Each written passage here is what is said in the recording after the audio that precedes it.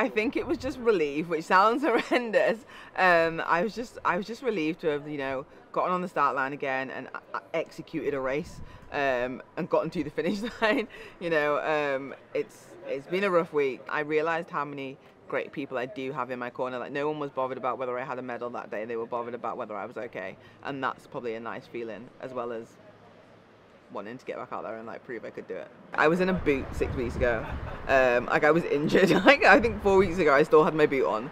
Um, so the fact that I managed to get out here and ride uh, as well as I did is like great. But it is such a great track when you're in good shape. Like we've seen world records falling. Like it is a great track. I mean, I will always say I would not be Kadeena Two Sports Cox without the National Lottery. Like the support that we get is like second to none. Like you wouldn't get this in any other country, um, and it's just amazing that we've got that support um, to help us be the best we can be.